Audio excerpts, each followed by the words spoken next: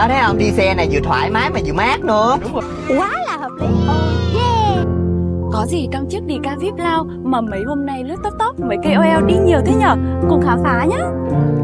À, Xe VIP Lounge cho công ty đưa đón sếp khách hàng.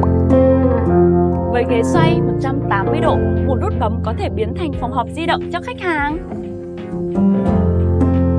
Được trang bị Smart TV thoải mái trình chiếu thuyết trình cho công việc.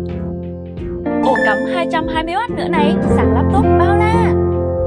Xe VIP lao đi chơi ư? Chuyện nhỏ. Ghế thoải mái, cả ra nằm nghỉ, dư sức đi chơi mọi lúc mọi nơi. TV, loa Sony, Wi-Fi 4G, VIVO lướt top top, xem TV thả ga. Còn cái quầy ba này nữa, mà ba thì phải có rượu, có nước, có bánh, tha hồ mà sử dụng. Tìm thuê xe cũng dễ, mà đầu tư xe cho thuê thì bao sinh lời. Lý khỏi phải bàn, có băng ghế sofa rộng rãi cho các bạn nhỏ chơi đùa.